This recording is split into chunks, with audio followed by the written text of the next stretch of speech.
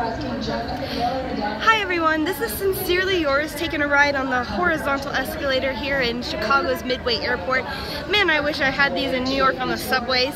I'm uh, waiting for my layover to head to Orlando, Florida for the weekend. From the bottom of my heart, I want to thank every single one of you who donated to It's a Little Stormy's GoFundMe.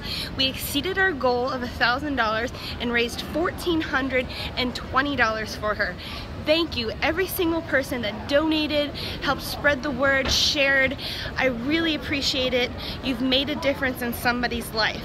Have a wonderful 4th of July weekend. I know I'll have a great time knowing that the little Stormy family is safe and sound.